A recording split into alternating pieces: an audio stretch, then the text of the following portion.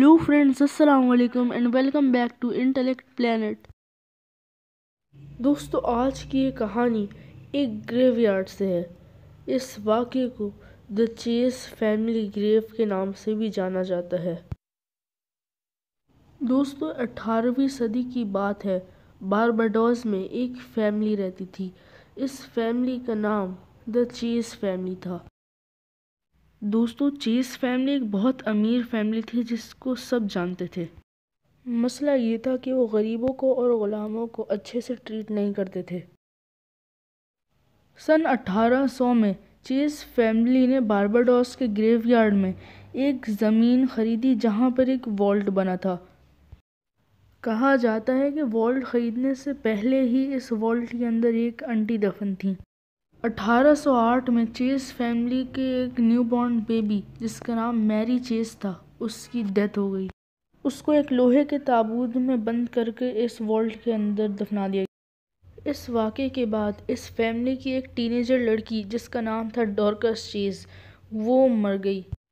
कहा जाता है कि उसने ख़ुदकुशी की थी। खैर, इसे भी लोहे के ताबूत में बंद करके अंदर वॉल्ट में रख दिया गया। इस आने के कुछ अरसे बाद इनके फादर थॉमस चेस ने खुदकुशी कर ली। इनको भी इसी वॉल्ट में बंद कर दिया गया। उसके बाद जब फैमिली में अगली डेथ हुई और फिर वॉल्ट खोला गया तो लोग ये देखकर हैरान थे कि सारे ताबूत इधर उधर बिखरे हुए थे। हैरानी इस बात की थी कि सारे ताबूत लोहे के थे और बहुत भारी थे। इन्हें उठाना किसी आम बंदे की बस की बात नहीं थी। ये था कौन और ऐसा क्यों कर रहा था? ये बात किसी के समझ में ना आई। दोस्तों, वक्त के गुजरते साथ साथ इस फैमिली के और अफराद मरते गए। और हमेशा जब भी वॉल्ट खोला जाता तो लोहे के ताबूत वैसे ही बिखरे हुए होते। ये खबर पूरी स्टेट में बहुत तेज़ी से फैल गई। इन वाक़ात को रोकने की कई कोशिशें की गईं। इस टॉम को सबसे पहले डस्ट किया गया, ताकि पता चले कि इसके अंदर कोई घुसा है या नहीं। इसके बाद इस टॉम को सीमेंट से प्लास्टर भी कर दिया गया, ताकि कोई खोल ना पाए। मगर जब मामला ना रुके तो बारबाडोस की गवर्नमेंट ने मजबूरन इस टॉम को सील कर दिया।